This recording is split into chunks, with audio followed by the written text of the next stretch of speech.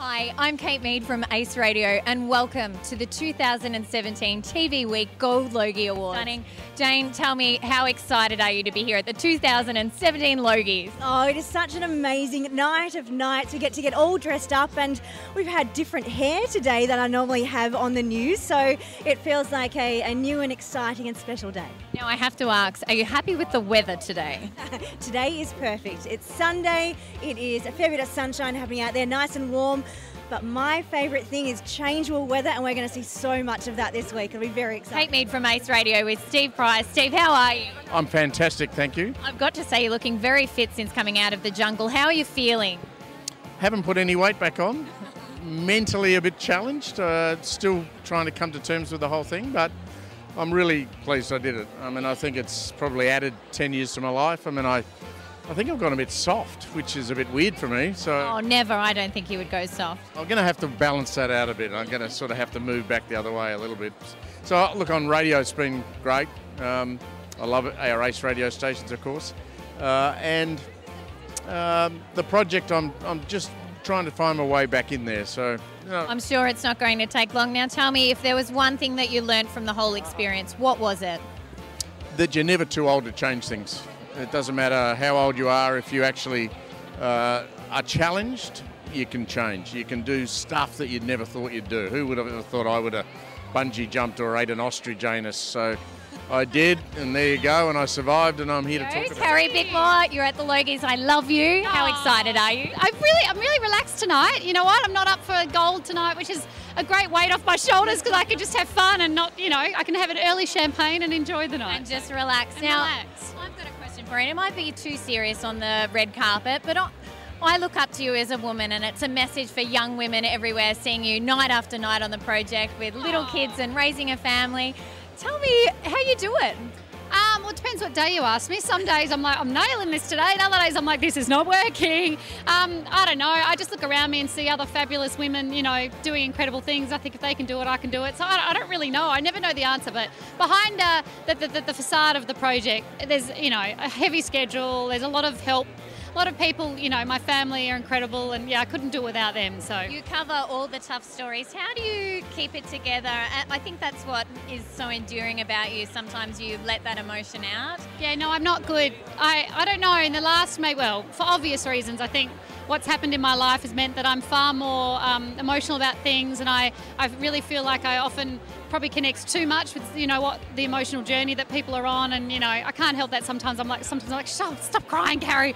But um, you know I think there's lots of people in the world um, doing it really tough, and I think one of the great things about the project is we can share their stories, and whether it's money they need or awareness, you know we can provide that for them. So Gary, yeah. thank you so much No for worries. stopping. too. You look absolutely dapper. You too. Are you giving me eyes? I don't think you should give me those eyes. A bit of a terrible catch about a brand new song. Yeah, I'm, I'm vlogging a new album and I'm singing a new song tonight. And you're giving me those eyes. No, it's don't give me those eyes, isn't Try it? not to. I was a dancer in a past life, and we used to dance to "Goodbye, My Lover." So you know, your music I stayed with me for some time. that. It was wonderful. Well, not maybe not my dancing, but the music was wonderful. Now, tell me, you're at the Logies this year. Who are you looking forward to catching up with? Well, I just caught up with Dannii uh, Minogue. You can just say her by her Christian name, isn't it? Yeah. Dannii Minogue, obviously, because I know her well from when I had a day job here. Um, and yeah, I mean, for me, I, Molly Meldrum Just as well. talk to James Blunt. Could this night get any better right now? Hitchener And Lavinia Nixon, how are you both tonight? Great, thanks. Having a good night. Hope you are. Oh, I'm having an absolutely wonderful time. Now, I have to ask, I'm sorry, Peter, about this beautiful dress that Lavinia is wearing. I know you've been asked a thousand times, but tell me, who is it by? Well, my friend Peter Hitchener thinks it's very understated. Oh, no, nothing can be understated when you've got this beautiful woman.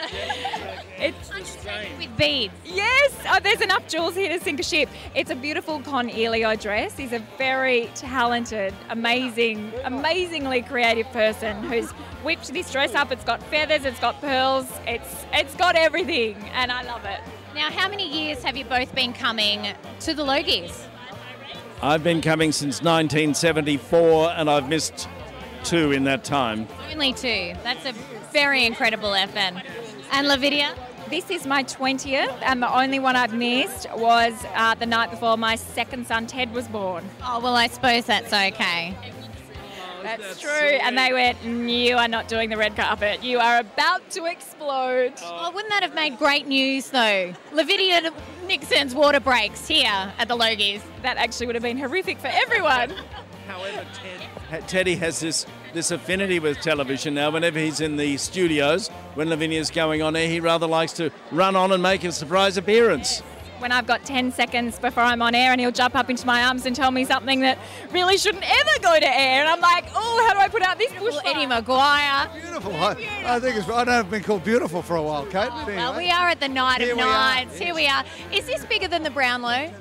Ah, different things. It's uh, it's the biggest thing in television. the Chalk and biggest- cheese. Biggest thing in sport. Uh, I've been lucky enough to be going to both of them for the past 35 years. So there you go. That shows you how long I've been around the place. Now, I need to ask you if you've seen it. My co host, John Vertigan, and we've found a fella in Warrnambool, and he is one eyed Collingwood. His whole room dates back to 1958. He's been collecting Collingwood memorabilia. His name's Barry Knowles.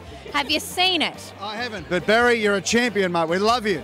Oh, he's one of your premium members. I know there's plenty of those. We've got 80,000 of them. But Barry, good on you, mate. Of course, 1958, a great year. The year my parents came out to Australia and the year the Pies won the premiership. Oh, there you go. You remember forever.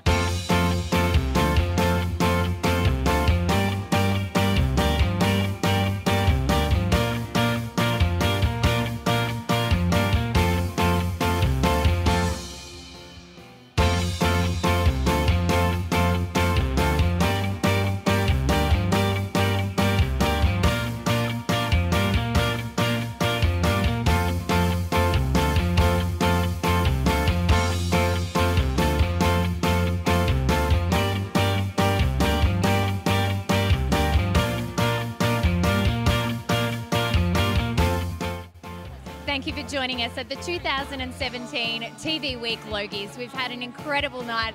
I hope you've enjoyed our journey with us. We'll see you next year.